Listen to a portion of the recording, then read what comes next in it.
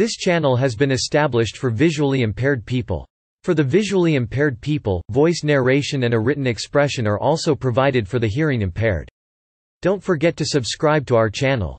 Presidential election results map blue denotes those won by Roosevelt, Garner, red denotes states won by Hoover, Curtis numbers indicate the number of electoral votes allotted to each state president before election. Herbert Hoover Republican elected President Franklin D. Roosevelt Democratic. The United States presidential election of 1932 was the 37th quadrennial presidential election, held on Tuesday, November 8, 1932 The election took place against the backdrop of the Great Depression that ruined the promises of incumbent president and Republican candidate Herbert Hoover to bring about a new era of prosperity the Democratic nomination went to the well-known governor of the most populous state, New York's Franklin D. Roosevelt, who had been re-elected governor in a landslide in 1930 Roosevelt united all wings of his party, avoided divisive cultural issues, and brought in a leading Southern conservative as his running mate, House Speaker John Nance Garner of Texas. Roosevelt repeatedly blamed Hoover for the Depression and worsening economy with unemployment above 20% in 1932 alone. Hoover was remiss to defend his record, and Roosevelt promised recovery with a New Deal for the American people. Roosevelt won by a landslide in both the electoral and popular vote, receiving the highest percentage of the popular vote for a Democratic nominee. The election marked the effective end of the fourth party system, dominated by Republican subsequent landslides in the 1934 mid-term elections and following presidential election two and four years later respectively, signified the commencement of the fifth party system, dominated by Roosevelt's New Deal coalition contents 1 nominations 11 Republican Party nomination 12 Democratic Party nomination 2 General election 21 Campaign 22 Results 23 Geography of results 231 Cartographic gallery 24 Results by state 25 Close States 251 Statistics 3 Bibliography 4 See also 5 References 6 External links 7 Navigation Nominations Republican Party Nomination Main article, 1932 Republican National Convention Republican candidates, Herbert Hoover, President of the United States John J. Blaine, Senator from Wisconsin Joseph I France, former Senator from Maryland James Wolcott Wadsworth, Jr., former Senator from New York President Herbert Hoover Senator John J. Blaine from Wisconsin Former Senator Joseph I France from Maryland Former Senator James Wolcott Wadsworth, Jr. from New York As the year 1932 began, the Republican Party believed Hoover's protectionism and aggressive fiscal policies would solve the Depression whether they were successful or not. President Herbert Hoover controlled the party and had little trouble securing a re-nomination little-known former United States Senator Joseph I France ran against Hoover in the primaries, but Hoover was often unopposed France's primary wins were tempered by his defeat to Hoover in his home state of Maryland and the fact that few delegates to the National Convention were chosen in the primaries Hoover's managers at the Republican National Convention, which met in Chicago between June 14 and 16, ran a tight ship, not allowing expressions of concern for the direction of the nation. He was nominated on the first ballot with 98% of the delegate vote. The tally was spectacularly lopsided, presidential ballot, RNC 1932 Herbert Hoover 11265 John J. Blaine 13 Calvin Coolidge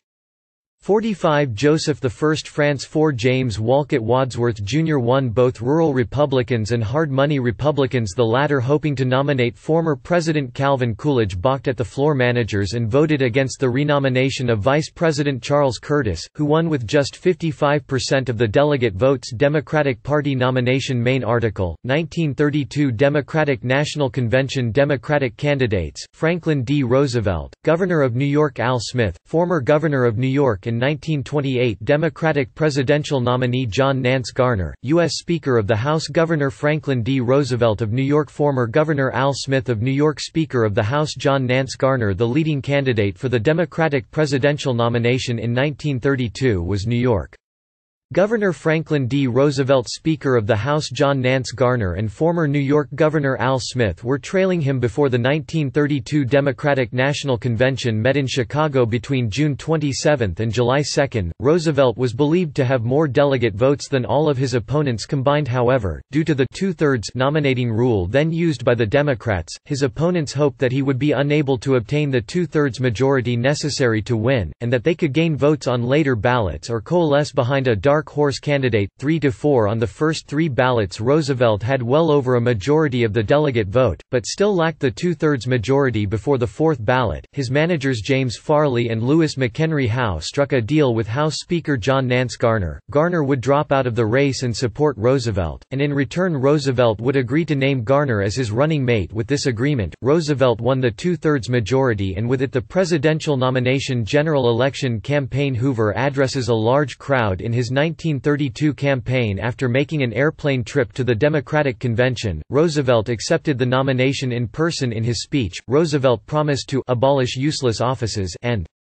Eliminate unnecessary functions of government, stating that government, federal and state and local, costs too much, and even promised to help facilitate the restoration of the trade of the world Roosevelt's trip to Chicago was the first of several successful, precedent-making moves designed to make him appear to be the candidate of change in the election large crowds greeted Roosevelt as he traveled around the nation. His campaign song Happy Days Are Here Again became one of the most popular in American political history, 244 and, indeed, the unofficial official anthem of the Democratic Party the Democrats were united as they had not been in 1928, and probably the most united the party had been in the entire Fourth Party system. Roosevelt's Protestant background nullified the anti-Catholic attacks Smith faced in 1928, and the Depression seemed to be of greater concern among the American public that previous cultural battles prohibition was a favorite Democratic target, with few Republicans trying to defend it given mounting demand to end prohibition and bring back beer, liquor, and the resulting tax revenues Roosevelt seated, center at Greenway Ranch in Williams, Arizona on September 26, 1932 he is accompanied by U.S. Senator from Arizona Carl Hayden standing far right, along with among others three Democrats from the U.S. Senate seated, Pittman, Walsh, and Cohen in contrast, Hoover was not supported by many of the more prominent Republicans and violently opposed by others, in particular by a number of senators who had fought him. Throughout his administration and whose national reputation made their opposition of considerable importance many prominent Republicans even went so far as to espouse the cause of the Democratic candidate openly making matters worse for Hoover was the fact that many Americans blamed him for the Great Depression for more than two years. President Hoover had been restricting trade and increasing taxes on the wealthy with legislation such as the Smoot-Hawley Tariff Act and the Revenue Act of 1932 Roosevelt lashed out at Hoover, I accuse the present administration of being the greatest spending administration in peacetime in all our history Garner accused Hoover of leading the country down the path of socialism.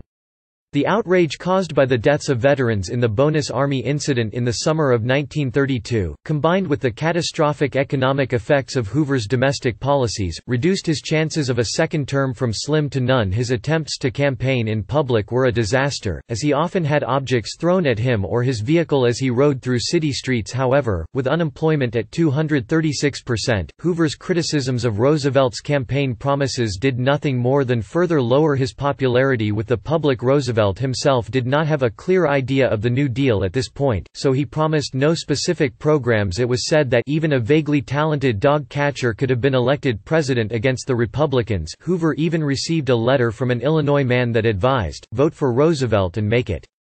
Unanimous Hoover called Roosevelt a chameleon in plaid and Roosevelt called President Hoover a fat, timid capon.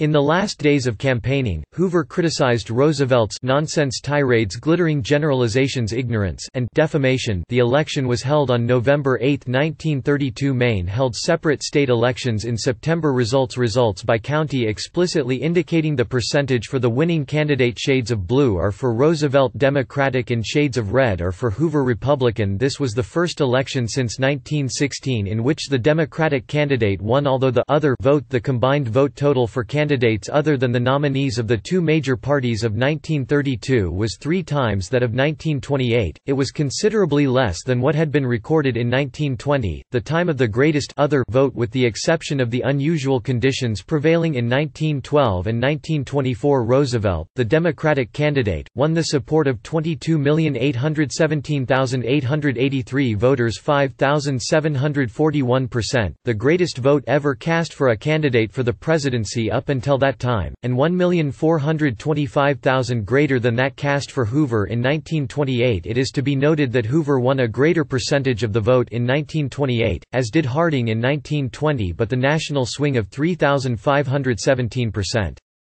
Impressed all who considered the distribution of the vote, and indicated that more than one-third of the electorate had switched from supporting the Republican Party to the Democratic Party only once in this period had there been a comparable shift, in 1920, there was a 2,929% swing towards the Republicans. The swing from Smith in 1928 to Roosevelt in this year remains the greatest national swing of the electorate between presidential elections in the history of the United States. 1932 was a realigning election, as as Roosevelt and the Democratic ticket won a sweeping victory over Hoover and the Republicans, extending their control over the U.S. House and gaining control of the U.S. Senate. Twelve years of Republican leadership came to an end, and 20 consecutive years of Democratic control of the White House began until 1932. The Republicans had controlled the presidency for 56 of the previous 72 years, dating to Abraham Lincoln's election in 1860. After 1932, Democrats would control the presidency for 28 of the next 36 years Roosevelt led the poll in 2,722 counties, the greatest number ever carried by a candidate for the presidency up until that time of these, 282 had never before been Democratic only 374 counties remained loyal to the Republican candidate. It is to be noted, however, that one-half of the total vote of the nation was cast in just eight states New York, New Jersey, Pennsylvania, Ohio, Illinois, Indiana, Michigan, and Wisconsin and that in these states, Hoover Hoover polled 8,592,163 votes in one section West-South Central, the Republican percentage sank to 1,621%, but in no other section did the party poll less than 30% of the vote cast but the relative appeal of the two candidates in 1932 and the decline of the appeal of Hoover as compared with 1928 are shown in the fact that the Republican vote increased in 1932 in only 87 counties, while the Democratic vote increased in 3,003 counties the great vote cast for Hoover, and the fact that in only one section of the nation West-South Central did he have less than 500,000 votes and in only three states outside of of the South less than 50,000 votes, make it clear that the nation remained a two-party electorate, and that everywhere, despite the triumph of the Democrats, there was a party membership devoted to neither the new administration nor the proposals of the socialist candidate who had polled 75% of the other vote as well as the highest raw vote total of his campaigns This election was the last time a Republican presidential candidate won a majority of black and African American votes to date as New Deal policies took effect. The strong support of black voters for these programs began a transition from their traditional support for Republicans to providing solid majorities for Democrats. The Roosevelt ticket swept every region of the country except New England and carried many reliable Republican states that had not been carried by the Democrats since their electoral landslide of 1912. When the Republican vote was divided, Michigan voted Democratic for the first time since the emergence of the Republican Party. The state of Minnesota was carried by a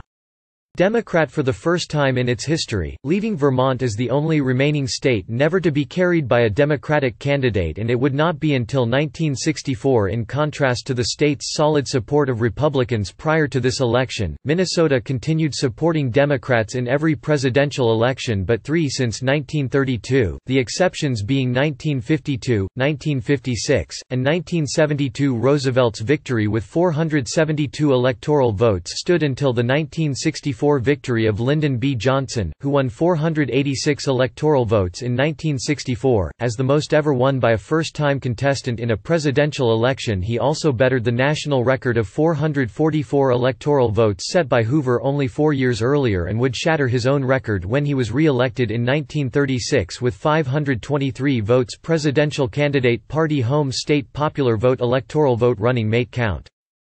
PCT Vice Presidential Candidate Home State Elect Vote Franklin D. Roosevelt Democratic New York 22821277 5741% 472 John Nance Garner Texas 472 Herbert Hoover Incumbent Republican California 15761254 3965% 59 Charles Curtis Kansas 59 Norman Thomas Socialist New York 884885 223% 0 James H. Maurer Pennsylvania 0 William Z. Foster Communist Illinois 103307 026% 0 James W. Ford Alabama 0 William David Upshaw Prohibition Georgia 81905 021% 0 Frank S. Regan Illinois 0 William Hope Harvey Liberty Arkansas 53425 013% 0 Frank Hemenway Washington 0 Verne L. Reynolds Socialist Labor New York 34038 009% 0 John W. Aiken Massachusetts 0 Jacob Coxey Farmer Labor Ohio 7431 002% 0 Julius Reiter Minnesota 0 Other 4376 001% Other, total 39751898 100% 531531 needed to win 266266 Source Popular Vote, Leip, David. 1932 Presidential Election Results. Dave Leip's Atlas of U.S. Presidential Elections retrieved July 31, 2005 Cartogram of Republican presidential election results by county Cartogram of other presidential election results by county Results by state States won by Roosevelt, Garner States won by Hoover, Curtis Franklin D. Roosevelt Democratic Herbert Hoover Republican Norman Thomas Socialist Other margin State Total state electoral votes hash Alabama 11 207910 8474 11 34675 1413 to 2030 083 739 030 173235 7061 245354 al Arizona 379,264 6,703 336,104 3053 2618 221 to 265 022 43160 3650 118251 as Arkansas 9 189602 8596 9 28467 1291 to 1269 058 1224 055 161135 7306 220562 r California 22 1324157 5839 22 847902 3739 63299 279 32608 144 476255 2100 2267966 ca Colorado 6 250877 5481 6 189617 4143 13591 297 3611 079 61260 1338 457696 co Connecticut 8 281,632 4,740 288,420 4,854 8 20,840 345 3,651 061 minus 6,788 minus 114 594,183 CT Delaware 3 54319 4811 57073 5055 3 1376 122 to 133 012 minus 2754 minus 244 112901 de Florida 7 206307 7468 769172 504 775 028 137137 4964 276252 FL Georgia 12 234118 9160 12 19863 777 to 461 018 1148 045 214255 8383 255590 GA Idaho 4 109479 5866 4 71417 3827 526 028 5203 279 38062 2039 186625 ID Illinois 29 1882304 5523 29 1432756 4204 67258 197 25608 075 449548 1319 3407926 ill Indiana 14 862054 5467 14 677184 4294 21388 136 16301 103 184870 1172 1576927 in Iowa 11 598019 5769 11 414433 3998 20467 197 3768 036 183586 1771 1036687 EA